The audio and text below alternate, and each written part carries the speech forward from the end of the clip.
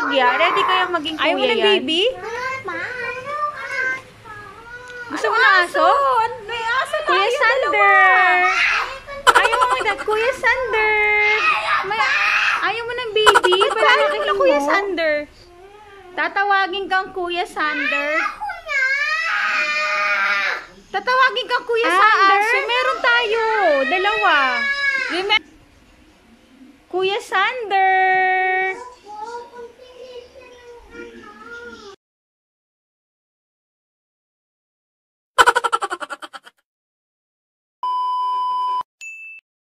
Kuya Sander.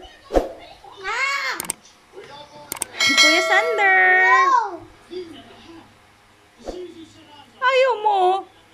Ayaw mo ng Kuya Sander?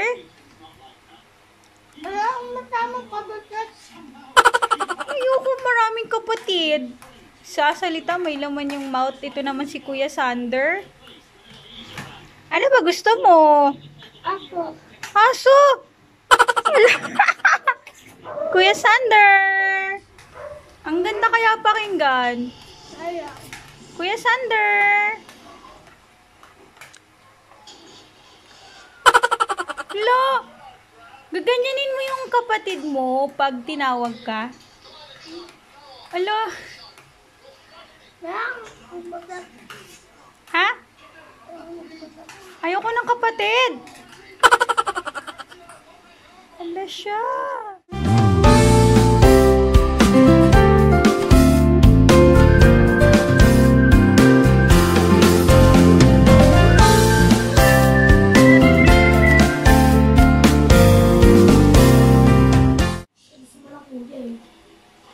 Kuya Sander!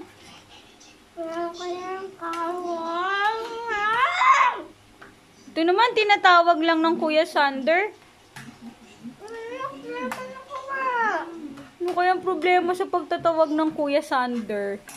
Ang sarap kaya pakinggan, Kuya Sander. Ba't ba ayaw mo po? Ayaw mo ng kapatid? Ayaw mo ng baby? Ayaw kumain. Ayaw kumain. Kuya Sander!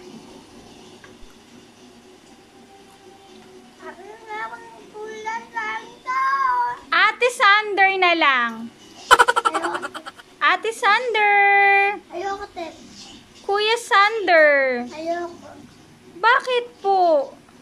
Bakit ba ayaw ni Sander ng baby? Hindi ka pa ready tawagin, Kuya Sander! Hindi. Kuya Marcos Sander! Hindi.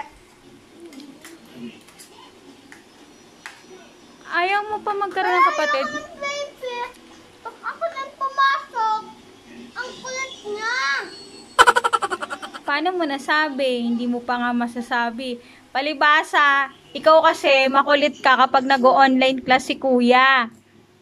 Eh, mali mo behave naman siya. So, ready ka na maging kuya? Ayaw. Ha?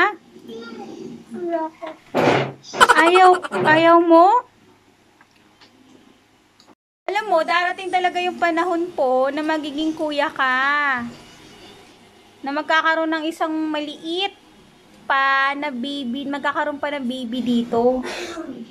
Ayaw mo ba nun? Hindi mo ba nakikita yung mga, yung nagpunta tayo sa Pasig, tapos yung baby nila Tito RR, di ba? Di ba? Ang cute ng may baby. Tapos, kuya ka na rin. Parang kay Kuya Bino. Ayan, oh. Ready na maging kuya yan. Ayaw. Ah, ayaw? Ayaw talaga?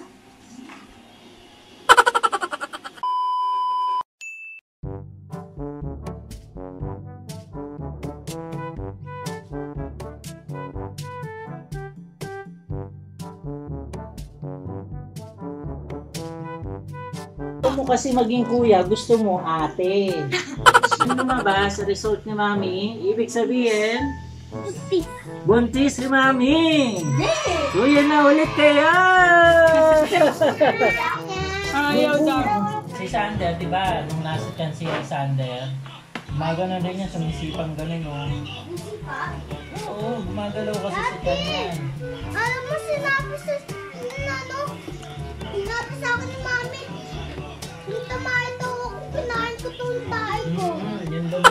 yung papanganak ka. Ah, Oo, kaya marami kang injection.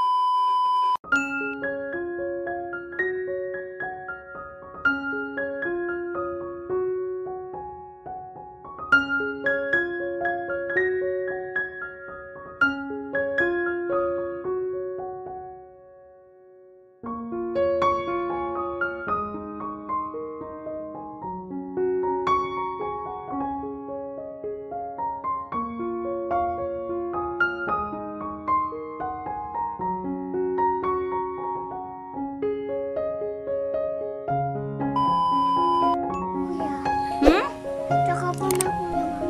So, ready ka na maging kuya? Ha? Yes. Yes! Thank you, Sander! So, ready na yung maging kuya, Sander?